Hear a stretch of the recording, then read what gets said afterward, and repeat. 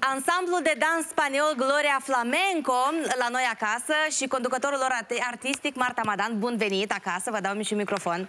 Bună ziua!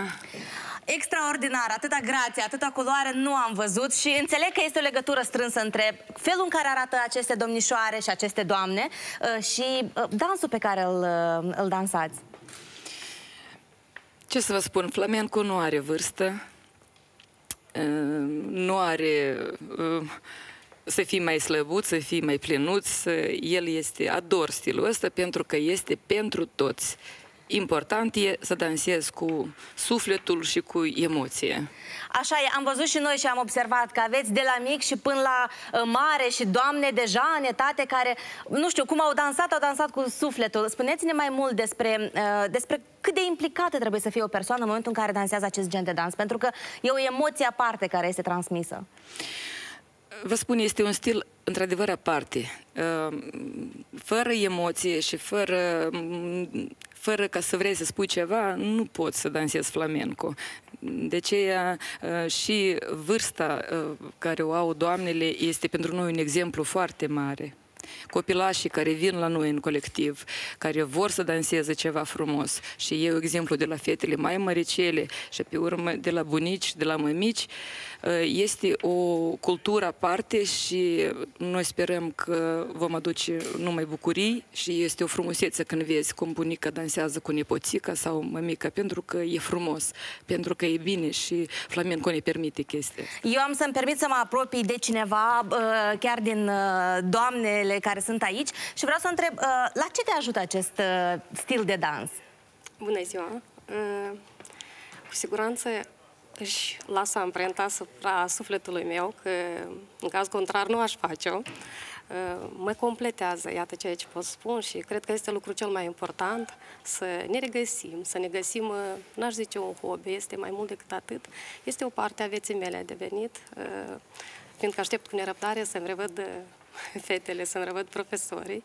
Este un dans care te face să trăiești pasiunea, să simți să simți vibrațiile astea cu ardele vieții și eu cred că dacă aș găsi o tangență, o asemănare între dansul flamenco, aș zice că este ca o poezie, știți, un vers în mișcare Foarte frumos. și care mereu va trăi. Atâta timp când noi vom ști să comunicăm non-verbal cu cei care ne privesc, să le Așa transmitem este. emoția din suflet. Transmiteți non-verbal pentru că ați spus de pasiune și vreau să, să o întreb și pe Pitica care este lângă mine.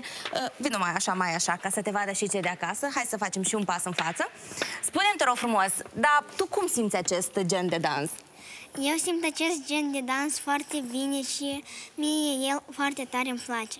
Chiar mă redă și nu știu, e super da dans. Serios? Da. da. Dacă ar trebui să faci un alt gen de dans, nu știu, populară, de exemplu, ai schimba acest, acest stil pe o populară? Um, dacă sincer nu, dar în stilul acesta poți fi și dansuri populare din Spania. Și de aceea îmi Deci place. cumva este legătura? Da. Eu îți mulțumesc foarte mult, mă întorc înapoi la dumneavoastră, uh, doamna Marta, și așa, spre final vreau să vă, uh, să vă întreb, să mă pun și eu așa, vreau să vă întreb cât de mult uh, trebuie să, să te antrenezi pentru a, a avea această performanță, exact cum am văzut-o noi aici. Adică cât, cât se antrenează aceste doamne și domnișoare? Este diferit. Cineva în colectiv deja în 9 ani, cineva 7, cineva 2, careva din fetițe. Dar ca să mm, faci flamenco e nevoie în fiecare zi. Dar oricine repetiție. poate să danseze? Oricine, oricine poate să danseze. V-am mai spus că nu importă cum arăți, ești, adică structura corpului, absolut. Dar cei care fac flamenco neapărat au o siluetă și o grație deosebită. Am observat deja. Flamenco este un gen de dans care e îmbinat uh, și, uh, nu știu, și clasic și un dans țigănesc. E o fuziune între aceste două. Uh, eu am, am văzut că nu aveți castanetele. Astăzi, de, din păcate, pentru că ni s-a spus că avem numai atâta, de, după timp, deci sunt atribute speciale în uh, dansul flamenco. Unul este chiar aici, Așa. este manton, uh, șalul, cum spunem noi, șalul spaniol, dar este deosebit, cu el se dansează foarte frumos. Un atribut foarte important este abanico, evantaiul Așa. și castanetele. Nu avem timp. Dacă ne mai invitați, venim și cu atributele date să vă arătăm. În schimb, uh, palmele și uh, bătutul din palme a fost uh, un, un locuitor al castanetelor. Eu vă Așa e. aplaud, fetelor, pentru tot ceea ce faceți și vă mulțumim pentru prezență, pentru frumusețe, pentru culoare și doamnelor din spatele meu, la fel, mă închin în fața dumneavoastră și, într-adevăr, v-ați găsit o pasiune, uite, în acest gen de dans și vă mulțumim.